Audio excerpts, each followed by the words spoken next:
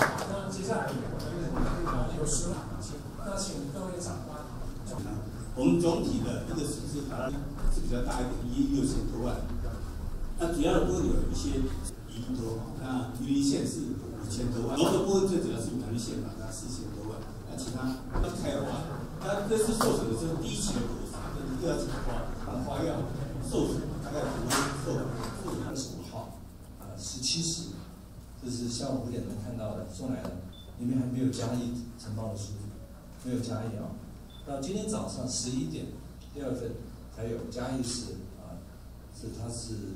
这个七七七十九万，七十九万三千啊。所以刚刚张县长说说我们效率太差，恐怕是因为他没有呈报，是因为他没有呈报，所以我们今天才拿到资料，我们这个资料很清楚，两份，各位要看可以拿去啊。所以我要请农委会，我这个农委会今天早上做说明，这跟不是就很政府的问题。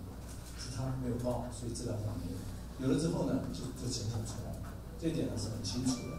那么该做的我们都会做，但是呢，我觉得没有发生的事情，我也希望地方首长不要跟我讲。